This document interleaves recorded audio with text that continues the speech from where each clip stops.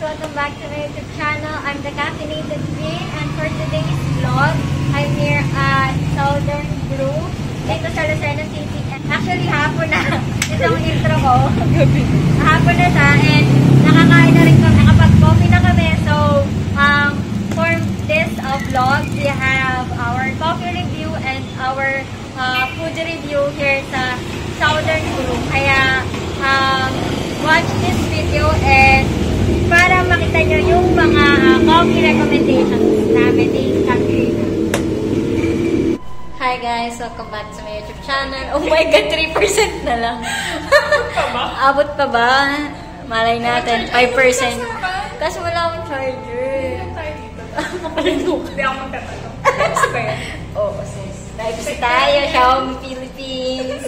So, ayan guys, we're here at Southern Brew. Ah, kaya dito kami napadpad kasi alam kong maunti na yung tao dito. Actually, kami lang. Tapos, ayun, authentic yung mga coffee dito. I mean, ah, dati kasi nakatry na kami na coffee dito, so kaya bumalik ako. So, ayan, I'm with Katrina, girl.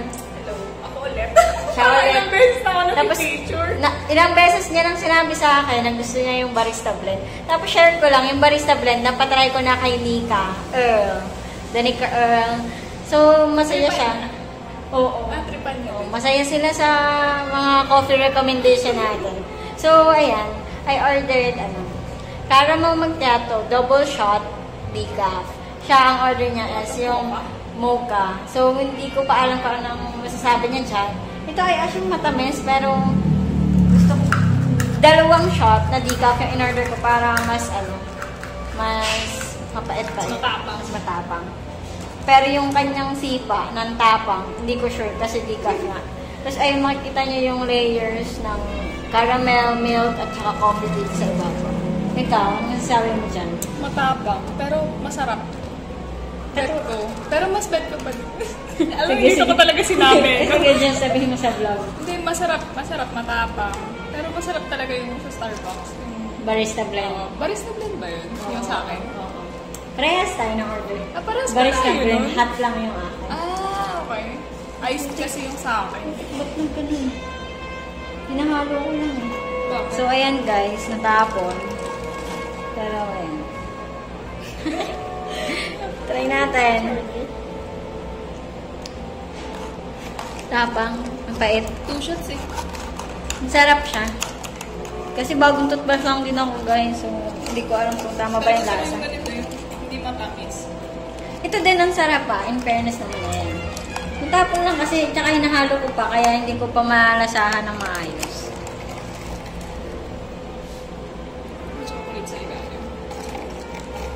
Hmm?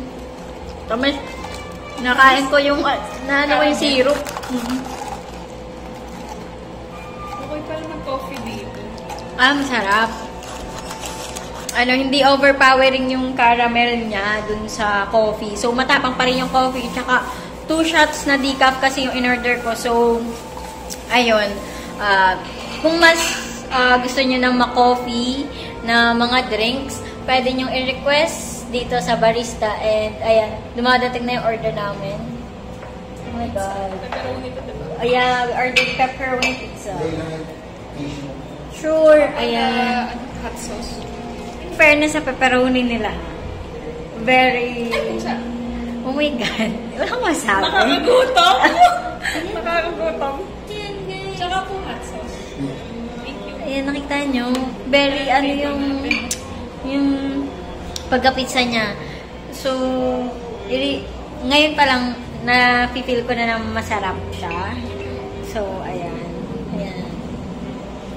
Tapos, dito nga pala, since ah, alam niyo naman na I'm the caffeinated queen at marami akong mga coffee recommendations dito sa Southern Brew, um, just like sa Starbucks, pwede kayong magtanong kung anong um, kung ano yung ah, recommendation nila based sa preference nyo ng coffee kung more on matapang ba ang gusto nyo or gusto nyo ba ng more on milky or sweet. So, ah, nagbibigay naman sila ng recommendation and alam niyo yun, feeling para na rin siyang Starbucks na ano, na yung parang personalized coffee, customized coffee. So, ayan guys. And we're going to uh, picture lang muna.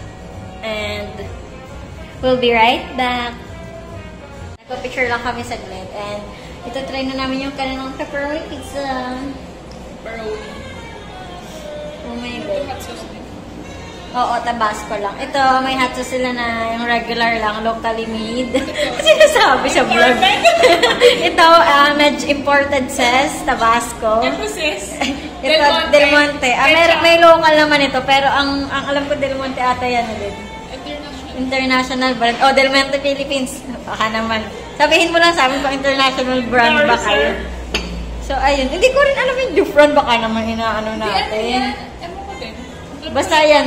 Kasi itong friend ko tinatanong kung ano ba daw yung hot sauce Ang niya. dami, iba kasi yung hot sauce na binigay ko. So, try na namin siya. Ilalagay ng pizza. Oo. Hindi ko na. Kaya ko naman. So, ayan. Tatry ko siya ng walang hot sauce.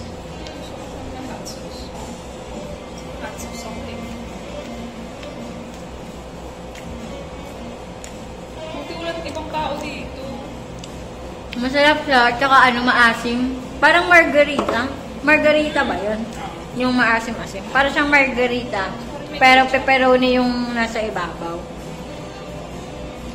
Or baka nga margarita na to. Hindi ko alam. Basta yun. Hindi lang kaano yung cheese. Hindi lang ganun ka, is, ano yun, mozzarella. ah, Hindi ganun. Pero masarap.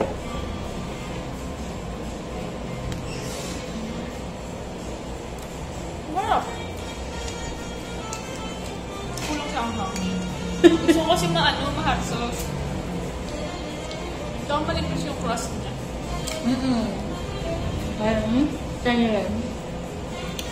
Nipis. Nipis. Sana all manipis. Nipis yan.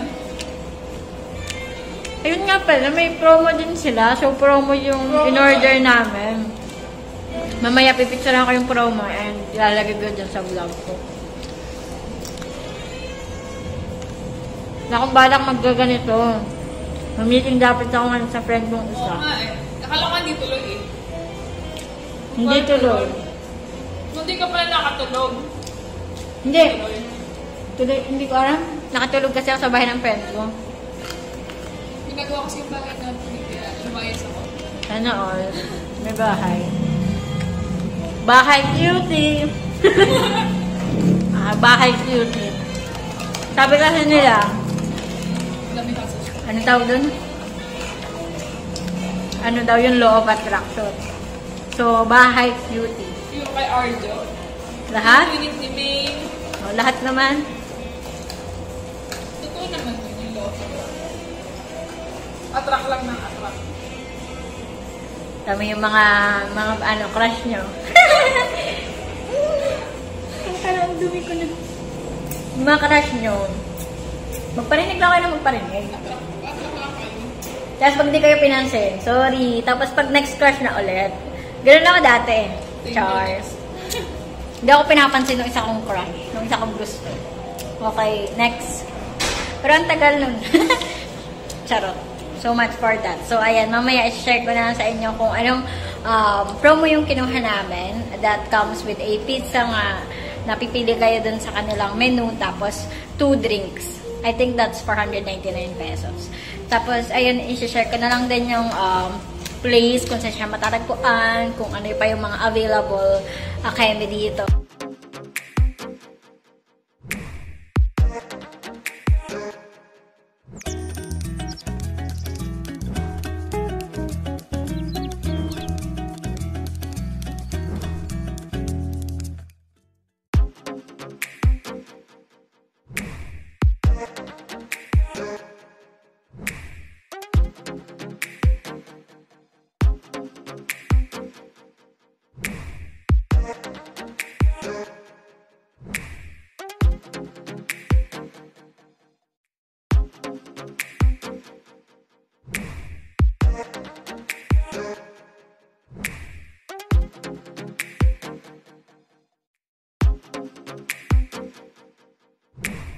Guys, um, I'm already home and just wanna add uh, some reviews um, for Southern Brew, which is not from me. And yung isa pa akong additional review is, um, dati kasi nga, galing na kami sa Southern Brew and uh, we tried tea, um, and yung kanilang wings, which is the, yung mahalang, I forgot, the Blazing Hot ata yung pangalan nung uh, a flavor ng buffalo wings na tinry namin. First additional review is for the Blazing Hot na buffalo wings. So, um, Blazing Hot nga, so mahalang talaga. And, um, masarap naman in fairness. Hindi naman siya yung mahalang na mahalang lang. So, uh, kumbaga, ang rate ko dun is uh, for over 5 for that uh, buffalo wings. Another one uh, review is for the burger. Um, my friend kasi ako dun dati na pumunta and they say na masarap daw yung burger patty nung burger dyan sa Southern Brew which is hindi ko pa naman na-try. Uh, kasi nga, kanina we ordered pizza. Another review is for the double uh, white mocha na nagustuhan din nung aking uh, friend dito sa Lucena nung kumain sila dyan sa Southern Brew. So, um, all in all, uh, I wanna say thank you to Southern Brew for the uh, accommodation kasi mm, kasi kanina, kami lang yung tao dun halos. Tapos, um, they are very accommodating. Yung um, customer service is 5 over 5. Um, since kaya nga kanina, kung makikita nyo dun sa vlog ko, sabi ko, a 5% na lang yung uh, battery ng phone ko. And yun, pinahiram kami ng charger ng staff sa Southern Brew. And plus yun nga, very accommodating sila with the, kung ano yung preference mo sa coffee. Yung decaf shot, uh, may additional yun na 25 pesos. Pero, kasi, ano yun, ayoko lang kasi yung masabog. Dahil nag-coffee na ako kaninang umaga. So, that's why decaf shot yung in-order ko for my caramel macchiato. So, all in all, uh, okay dun sa Southern Brew. Siguro next time, I'll try to uh, have uh, their pasta. Kasi sa mga friends ko, wala pa nakakapagsabi and review sa akin kung okay ba yung pasta dun.